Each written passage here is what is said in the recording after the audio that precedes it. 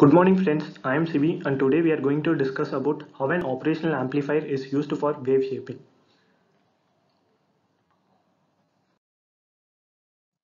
So now, what is an operational amplifier? Got some idea? If not, I hope the only place you are going to land is Google. But believe me, finding on this what you exactly need in Google is like finding Nemo in the ocean. What I mean is, it's really a laborious and time consuming work. But don't worry, say hello to Professor Edward who's here to help you.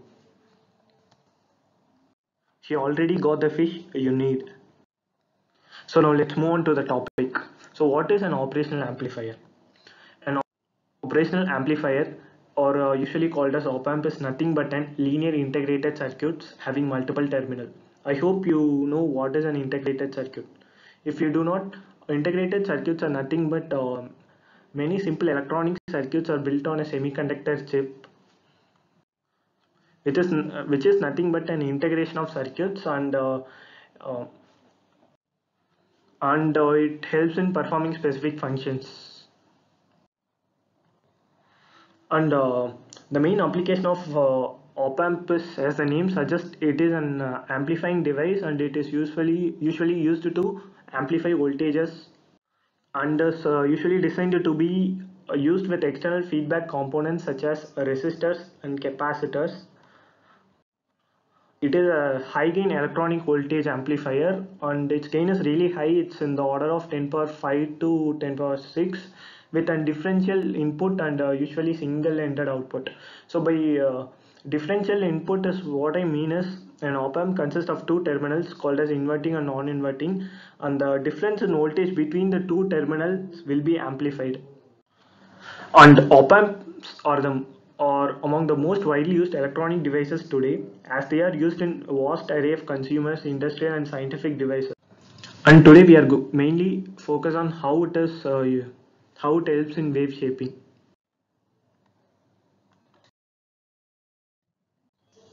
so now let's dive into the actual topic op amp for wave shaping so usually wave shaping circuits are the electronic circuits which produce the desired shape at the output from the applied input waveform. Usually there are two types of wave shaping circuits. They are called as clippers and clampers. Uh, these wave shaping circuits can be built using op amp and today we are going to see how we are going to build these uh, clippers and clampers using op amps.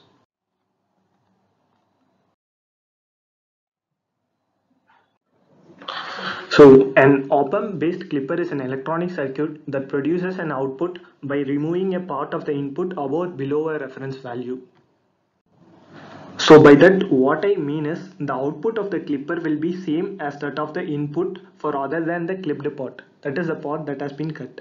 So due to this the peak to peak amplitude of the output of the clipper will always um, be uh, less than the less than that of the out input. And as we see the main advantage of clippers is that they eliminate the unwanted noise present in the signal. The noise is nothing but an unwanted signals. And also clippers are classified into two types uh, they are positive and negative clippers so now uh, let's move on to the positive clip. Uh, a positive clipper is a clipper that clips only the positive portion of the input signal. And the below shown circuit diagram is the circuit diagram for the positive clipper that has been built using uh, op amp. So what actually happens in this circuit is that um, a sinusoidal voltage signal uh, vt is uh,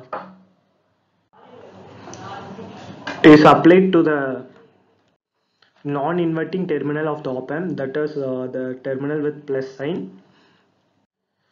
And the value of the reference uh, voltage can be chosen by varying the resistance R2 so uh, now now let's discuss about the operation hap happening in this circuit. So what actually happens here is if the value of the input voltage Vi is uh, greater than the reference voltage, then the diode will conduct. That is the diode D1 will conduct. And uh, this entire circuit behaves as a voltage follower so that the output voltage will be same as that of the input voltage. Uh, that is uh, V naught will be equal to Vi E naught will be equal to a Vi under the condition that Vi that is the input voltage is less than the reference voltage. And if the value of the vi is greater than the reference voltage this uh, VREF the diode uh, will be in off condition. So now here the diode will uh, sorry not the diode. The operational amplifier will act as an open loop. It acts in an open loop condition. The feedback path was open. So here the output voltage V naught uh, will be equal to the reference voltage that is Vref so this happens under the condition that is the Vi the input voltage is greater than the uh, reference voltage. So now let's see the graph so here the input uh, waveform and the corresponding output waveform has been shown. As you can uh, clearly see uh, as you can clearly see that uh, once the input voltage uh, mm, value reaches and that is uh, Vref reach actually when the input voltage value exceeds the reference voltage then the, that part during this period of time the op amp uh, doesn't conduct and it is equal to the reference voltage. Actually uh, the op amp works in an open loop condition and uh, the output voltage is equal to the reference voltage. So the that part of the so that part is being cut from the input signal. So i hope you understand. Now let's move on to the negative clipper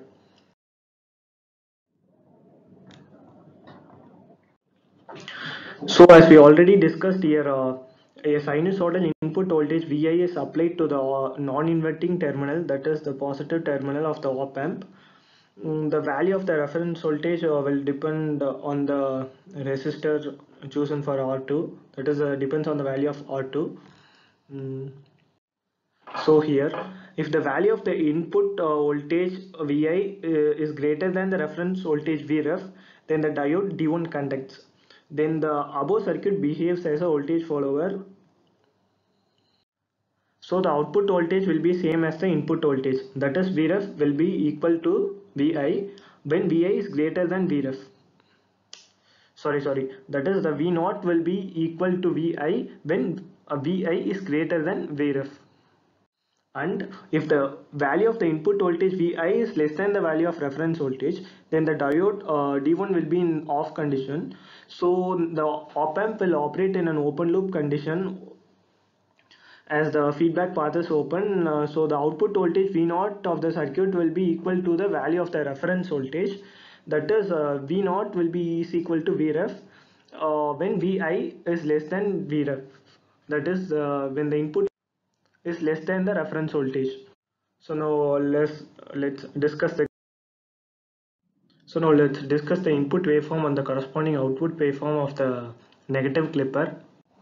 So here uh, what actually happens is we are uh, fixing the reference uh, voltage at the negative side of the axis that is uh, the Vref has been uh, set as set as negative. So once the input voltage that is the varying sinusoidal input voltage uh, reaches the reference uh, value it get clipped.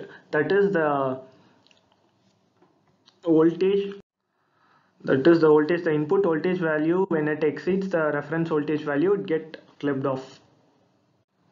So that's it in this topic. So let's move on to the clampers so uh, what op amp based clamper so it is nothing but as a electronic circuit that produces an input which is similar to the with output that is similar to the input but with a shift in the DC level mm. To make it simple, the output of the clamper uh, is a replica of the input given to the clamper. So hence the peak to peak amplitude of the output of a clamper will always uh, be equal to that of the input.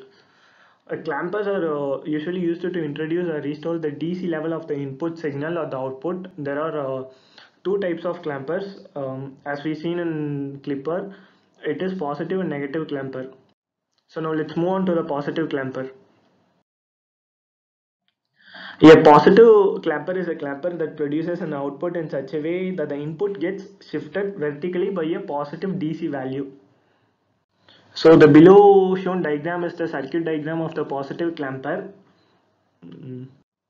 Now let's discuss its operation. So here uh, in this circuit an uh, sinusoidal voltage or uh, input voltage is given that is VI um, and it is uh, applied to the non-inverting terminal of the op amp through a network that consists of a resistor uh, R1 and a capacitor. Mm.